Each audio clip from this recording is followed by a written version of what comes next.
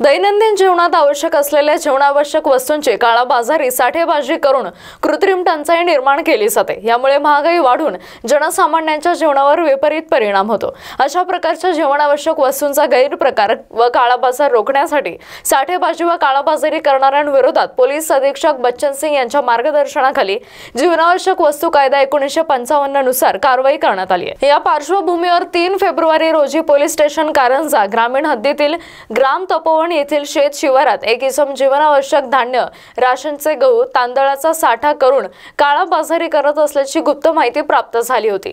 या अनुषंगाने पोलीस अधीक्षक बच्चन सिंग यांच्या मार्गदर्शनाखाली उपविभागीय पोलीस अधिकारी कारंजा जगदीश पांडे यांनी पथकासह तेथील पंचायत समक्ष छापा टाकला असता ग्राम तपोवण येथील शेत शिवारात एका शेतात तीन इसम नामे सलीम भिकाजी बाळापुरे अलीम सलीम गुंगीवाले तोहिद हसन भवानीवाले यांच्या ताब्यात अवैध विणा परवाना शासकीय स्वस्त धान्य दुकानात वितरित करण्यात येत असलेला गहू तांदळाचा साठा चारचाकी वाहनामध्ये भरून ठेवल्याचं आढळून आलंय. याच धान्याचा परवाना व कागदपत्रांची मागणी केली असता ते कोणत्याही प्रकारचा परवाना व कागदपत्रे सादर करण्यास असमर्थ ठरल्याने पंचायत समक्ष एकोणीस टन तांदूळ किंमत अंदाजे एक लाख नव्वद हजार रुपये त्याचबरोबर एक टन गहू किंमत अंदाजे सात हजार रुपये व एक टाटा कंपनीचे वाहन क्रमांक एम एच एकोणतीस बीई चार तीन आठ दोन.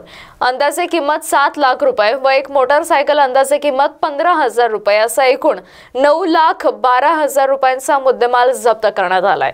सदरची कारवाई पोलीस अधीक्षक Shri Bachchan Singh I P S यांच्या मार्गदर्शनाखाली उपविभागीय पोलीस अधिकारी कारंजा श्री जगदीश पांडे यांच्या पथकाने पार पडली आहे नागेश अवचार झुमॉन News, Washim.